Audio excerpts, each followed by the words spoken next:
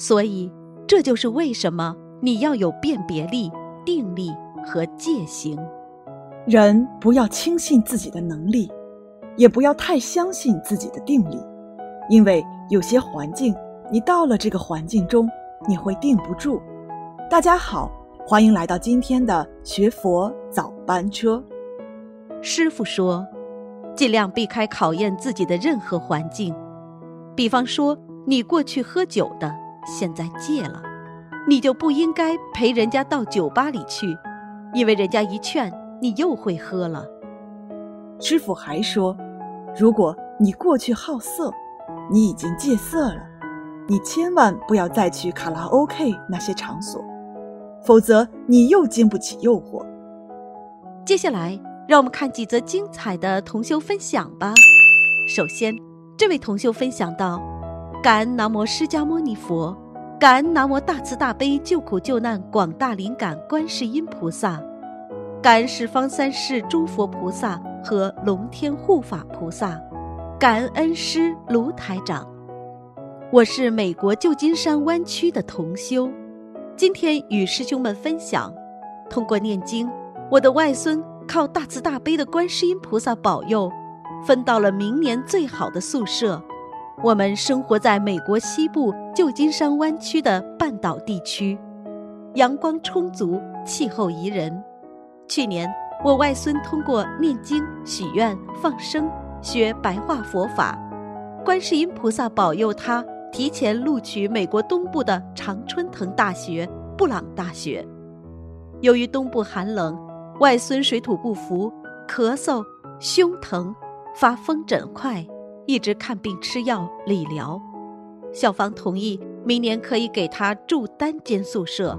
当他去看了分配的宿舍楼。觉得很陈旧，而且不能和好朋友住在一起，所以放弃了。谁知接下来大部分可供选择的宿舍楼离上课的教学楼要步行二十分钟，在冬天下大雪时步行的艰难可想而知。他后悔又无奈，对我们说需要助缘念经了。他每天念经做功课。四月十二日十点十八分。轮到外孙电脑抽签，我和先生为他助缘了两张自修经文，每张二百七十二遍准提神咒，又各念诵了两组一百零八遍的解结咒和准提神咒，四十九遍心经。外孙自己也念准提神咒。我在佛台前祈求，宿舍抽签，一切听观世音菩萨妈妈安排。抽签时间到了，我外孙内急去了卫生间，一个同学帮他按了选择键，抽到了一个七人的大套间，两个双人间，三个单人间。外孙住最大的一间二十平米的单人间，还带个四平方的衣帽间，最好吃的食堂就在旁边，宿舍楼位于校园中心。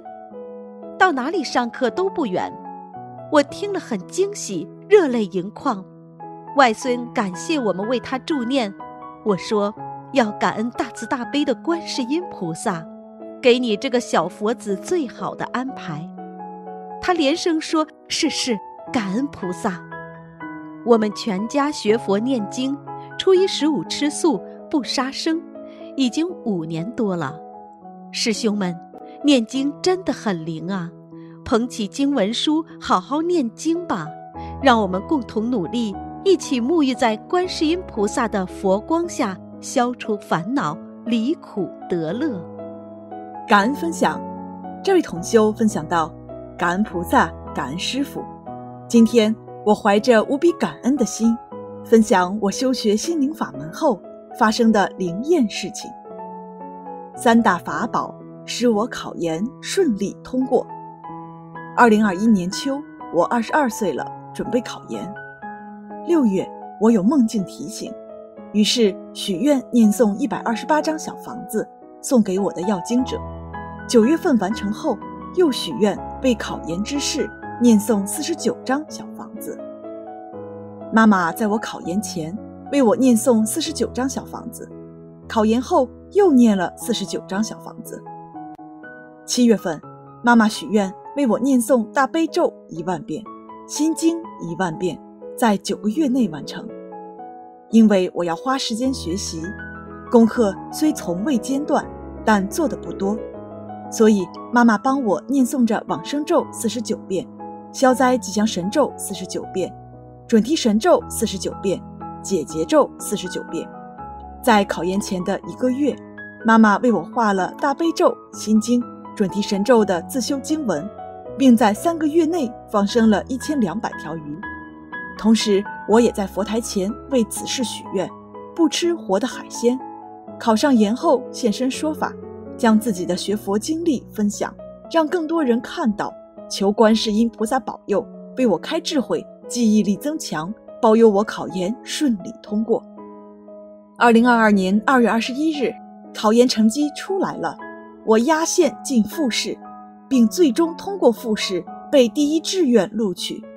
此时我深知是观世音菩萨保佑了我，请大家坚信，念经、许愿、放生，一定会让您得偿所愿，心想事成，有意想不到的收获。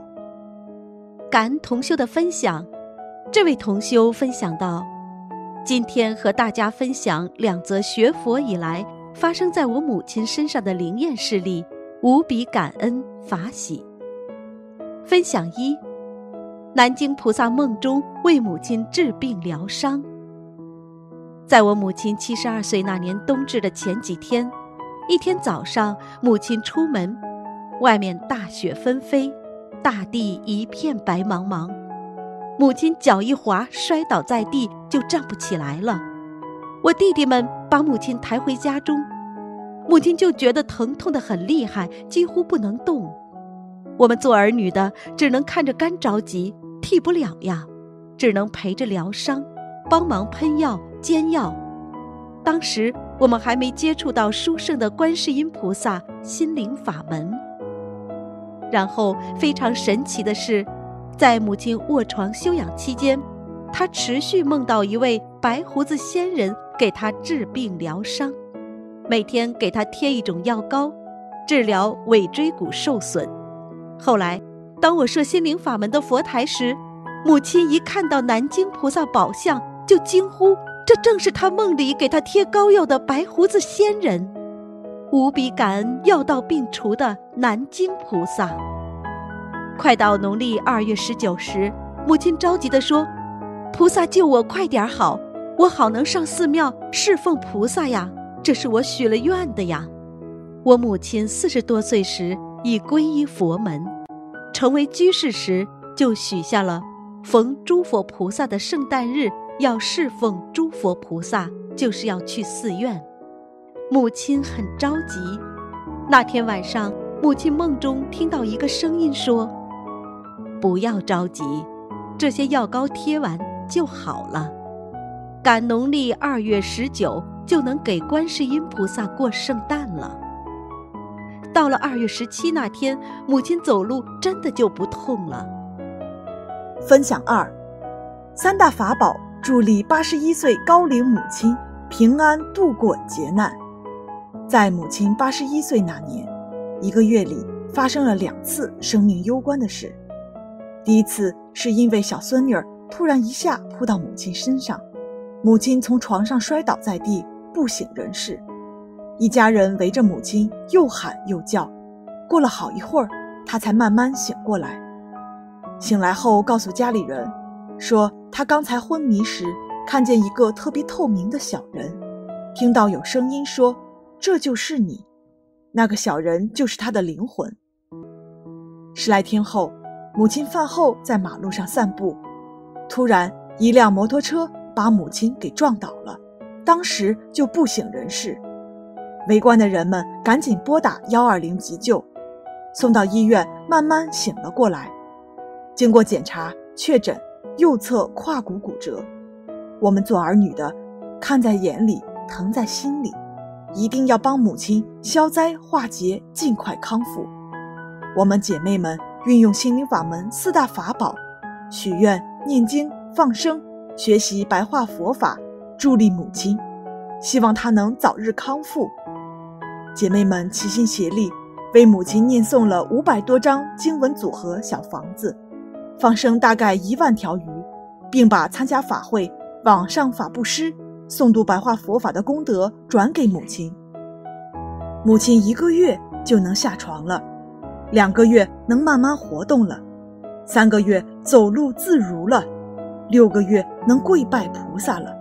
真的是感恩菩萨的慈悲护佑，感恩佛法的佛光普照。感恩恩师的慈悲救度。分享结束。如果有不如理、不如法之处，请大慈大悲观世音菩萨慈悲原谅。同修自己的业障自己背，不让师父背，不让师兄们背。接下来，让我们一起来听师傅讲一个小故事吧。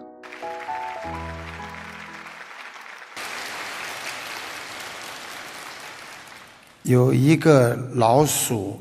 掉进了半满的米缸当中，一半满的米缸当中，这个意外啊，让老鼠情不自禁的非常开心。它确定米缸里没有危险之后，它就躲在米缸里吃了睡，睡了吃，它非常的快乐的生活。很快。米缸就被老鼠吃完了，米缸里的米呀，全部吃完了。这时候老鼠才发现，它再也跳不出米缸了，一切无能为力了。这个故事说明，我们的生活看似平淡，其实到处都是危机呀。人。就是在享受的时候，从来没有想到过我会有灾难。很多人天天在生活当中，觉得自己身体一直很好。当有一天他发现了自己生癌症的时候，他已经晚了。所以灾难一来，再去求佛，也就是灾时难用药啊，临时抱佛脚。感恩菩萨，感恩师傅。在今天节目的最后，让我们再一起听师傅的几句佛言佛语：避开人间财色迷，修心修行不迷惑。不被红尘神魂颠，一身正气不会倒。好了，以上就是今天学佛早班车的内容。希望每个人都可以元气满满迎接每一天，加油吧，学佛人！嗯，同时也期待明天同一时间与您在这里再次相会。